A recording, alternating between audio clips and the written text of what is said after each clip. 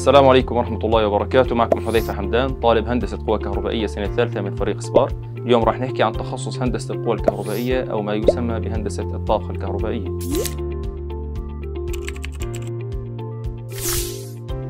يهتم تخصص القوى الكهربائية بالطاقة وطرق توليدها ونقلها بالإضافة إلى تقنية الضغط العالي وتحويل طاقة الدوران الميكانيكي عن طريق المولدات إلى طاقة كهربائية.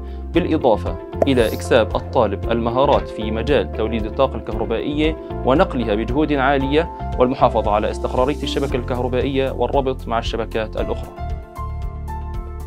يمكن لمهندس القوى الكهربائية العمل في مجالات تمديدات والطاقة ومشاريع الطاقة توريد الطاقة الكهربائية والعثور على طرق بديلة لإنتاجها بكميات كبيرة وتكلفة أقل تصميم المولدات الكهربائية والتي تعد قلب نظام القوى الكهربائية.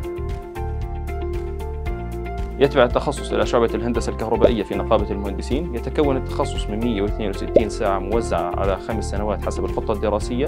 سعر ساعة التنافس 30 دينار وسعر ساعة الموازي 60 دينار. تقسم مواد الخطة الدراسية إلى مواد إجبارية واختيارية جامعة ومواد إجبارية واختيارية تخصصية بالإضافة إلى مواد مساندة متخصصية. في السنة الدراسية الأولى يبدأ الطالب في دراسة مواد مشتركة مثل تفاضل وتكامل وفيزياء وكيمياء عامة.